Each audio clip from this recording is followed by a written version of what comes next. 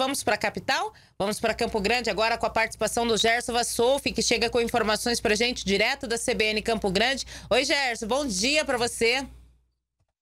Bom dia para você, Ana. Bom dia para todos aí em Três Lagoas. Vou falar sobre uma iniciativa do governo do estado que a gente já vinha noticiando sobre isso, que é uma operação de assistência humanitária para as pessoas ribeirinhas no Pantanal. Essa ação que vai atender essas pessoas que são as pessoas que mais sofreram com os incêndios lá no Pantanal, que são os ribeirinhos quem vivem e dependem do nosso bioma para continuar vivendo, né? Bom, a operação então de assistência aos ribeirinhos lá no Pantanal, promovida pelo governo do estado, já teve início, tá? Ela teve início neste domingo, é, onde, um, onde com a saída aí de mais de 20 integrantes da Defesa Civil saindo aqui de Campo Grande rumo à cidade de Corumbá.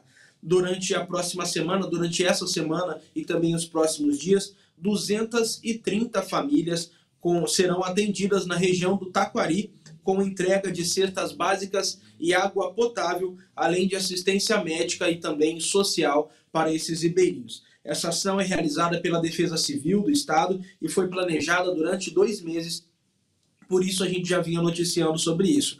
A equipe é formada por um total de 30 pessoas, 30 profissionais, e ficará instalada então em uma base avançada no Pantanal, na região do Taquari, onde vai percorrer durante esta semana as seis comunidades da região. É, a comunidade do Corichão, também Cedrinho, João Banana, Escola Nazaré, Porto Rolon e Fazenda Santa Aurélia. Essas são as regiões para essa semana, tá? Serão oferecidos então atendimentos médicos com especialistas, enfermeiros, assistência social, além da entrega de cesta básica e também água mineral para os ribeirinhos. Esta é a primeira, a primeira edição desta ação é, de Operação Humanitária ao Pantanal. É assim que eles estão chamando, Operação Humanitária Pantanal. Essa é a primeira edição, começando pela região alta do Taquari. As atividades seguem então até o dia 31 de agosto, mas para o mês de setembro estão previstas mais três ações é, humanitárias no Alto Pantanal, Baixo Pantanal e também no Taquari,